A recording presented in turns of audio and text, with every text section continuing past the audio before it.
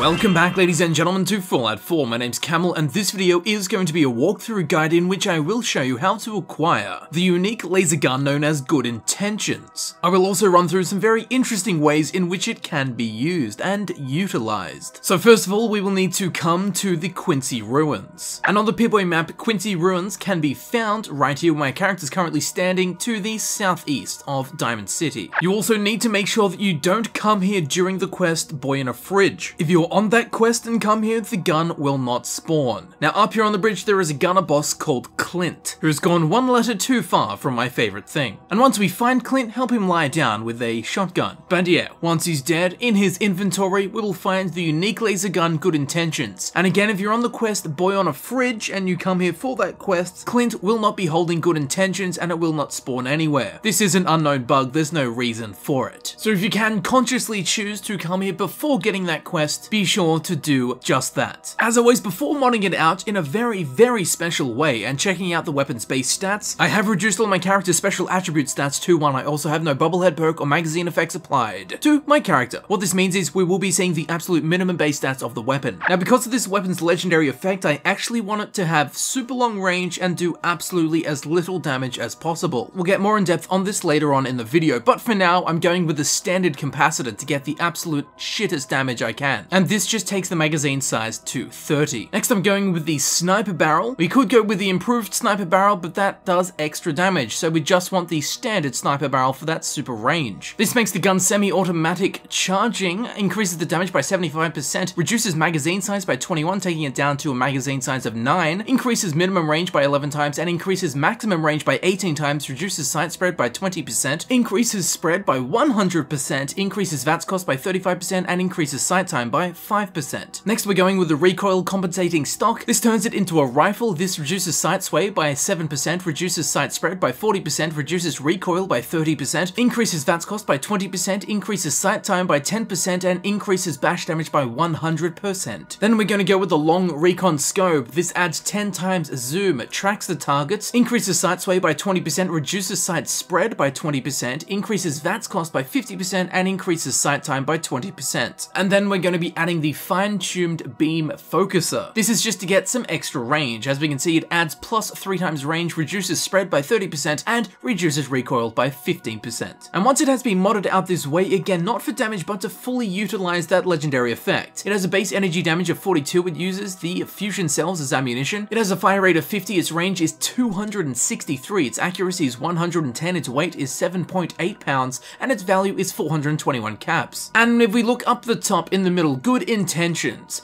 Critical damage causes frenzy, and that legendary effect is the very reason we have chosen to go for little damage, but we do want to use this gun in a very special way. And although it's essentially impossible to avoid getting damage increasing perks, there are some other perks that can help us utilize fully good intentions. Such as Critical Banker, you can now save 4 crit hits to be used in VATS when you need them the most, so you can store up critical hits to use on your enemies to frenzy them. And another one would be the Four-Leafed Clover. Each hit in VATS now has an excellent chance of filling your critical meter. Again, just to fill the crit meter a little bit more so you can use the frenzy ability of good intentions even more often. So now let's talk about why we want to do as little damage as possible and why I modded it out to be an absolute piece of poo when it comes to delivering damage. So you could use Good Intentions as a standard sniper rifle, and you could also make it do huge critical damage. But the thing with the enraging legendary prefix is, only critical damage makes an enemy go into a frenzy. So what you do want to do is suss out which enemy you're going to be fighting is the strongest. Then you want to go into VATS and hit them with a critical hit. This will send them into a frenzy for I do believe 30 seconds. Now provided you modded Good Intentions out the way I did, it's not going to do much damage damage to that enemy that you've now done a critical hit on and is now in a frenzy. This means it's going to be harder for the rest of the enemies to kill this now frenzied strongest enemy. So although it might seem weird saying that you want to do as little damage as possible with a weapon, this is just so the remaining normal enemies around this now frenzied target have a much harder time taking them out, and giving the stronger target more of a chance to kill the weaker targets that you now won't have to take out because the stronger frenzied target has done that job for you, via of course the enraging legendary prefix of good intentions. Now the longer you can stay sneaked, the better. That's why I've gone for this super range. So you can perform a critical hit on an enemy that is super far away and basically just have a group of foes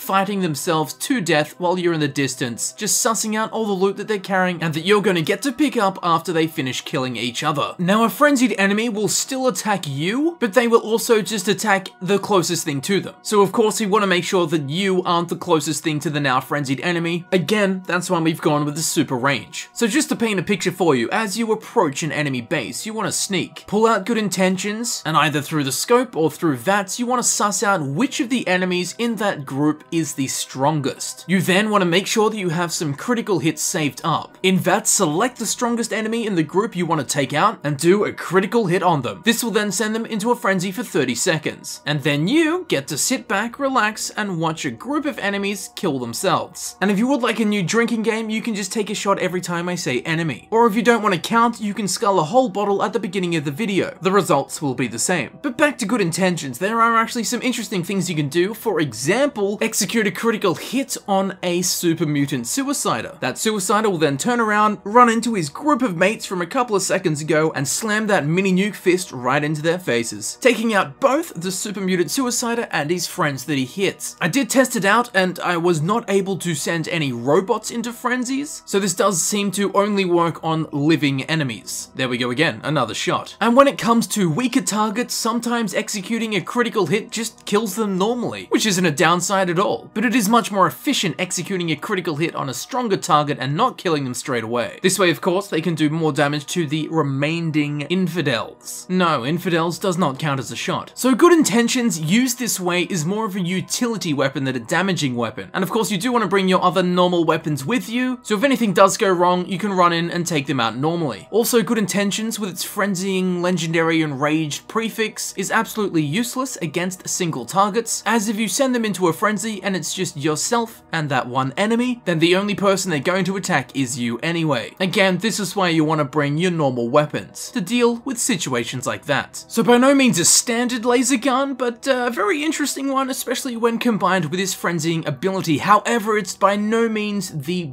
best weapon to have this frenzying effect. For example, if you had a normal sniper rifle, you could put a silencer on it so your enemies can't find you as easily. Unfortunately, you can't silence a laser gun, so even when you are super far away, you shoot a shot and they pretty much know where it came from straight away, meaning you will have to act much quicker when the frenzying effect vanishes from the enemy you've hit. But Good Intentions is a guaranteed way to get a gun with the enraged legendary prefix, sending your enemies into a frenzy on a critical hit. And again, if you can at all avoid it, don't come here while you are on the quest Boy in a Fridge, otherwise Clint will spawn without Good Intentions in his inventory. And then you will never be able to get it. And yes, this is just caused by an unknown bug. Well, the bug's known, I'm telling you about it. But why it exists, that is the mystery. So it's not an amazing weapon, it's not a bad weapon, I would say it's a good weapon. This gun is also when you're really enjoying camping and thousands of years go past. Good in tent eons. Oh yes, there's nothing quite like some good old intent eons. I'm sorry if that injured you, I did say it with good intentions. And here it is, good intentions in action. Well, kind of.